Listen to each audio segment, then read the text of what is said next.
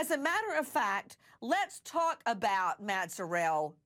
The evidence that shows Steven Avery is the killer of Teresa Halbach. Let's see that list, Liz.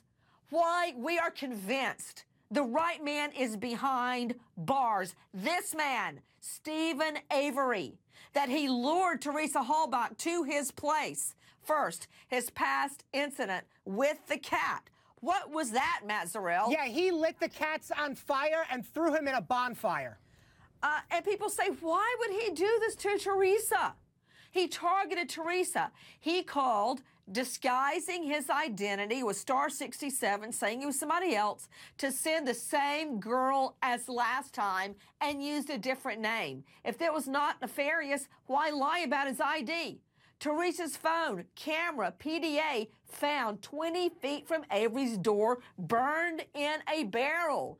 He told inmates he intended to build a torture chamber to rape, torture, and kill women as soon as he got out of jail.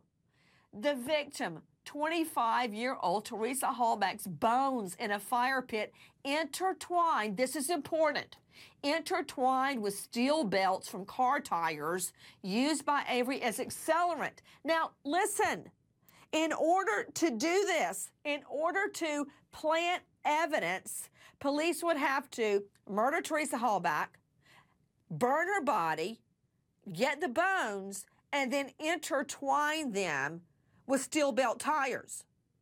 That's quite a cover up, right? That spans two counties and nobody's ever cracked and talked about it. Let's see the rest of the list, Liz. Teresa's tooth and rivet from her jeans. She was wearing some Daisy Fuentes jeans the day she went missing. The rivets from those jeans, the decorations, along with her tooth, found in the fire pit phone records showing three calls from Avery to Teresa's phone, masking his identity. There were six calls in all, luring her back. Avery's DNA on the victim's hood latch. Under her hood, the DNA was sweat.